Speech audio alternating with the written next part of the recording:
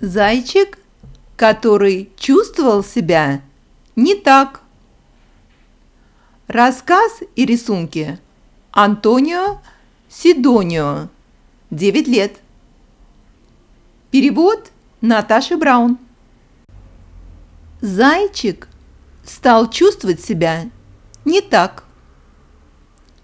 И маме своей он сказал вот так. «Мама, я чувствую себя никак». А мама ему ответила так. «Ты что, не заметил, как ты соску свою потерял? Ах! Ой, как! Пах!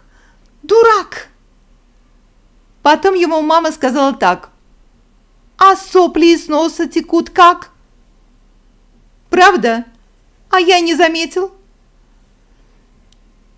Тогда зайчик сказал так. «А без соски-то я как?» Мама ж ему ответила так. «Карманные деньги есть? Вот так». «Ой, как же так?» Конец.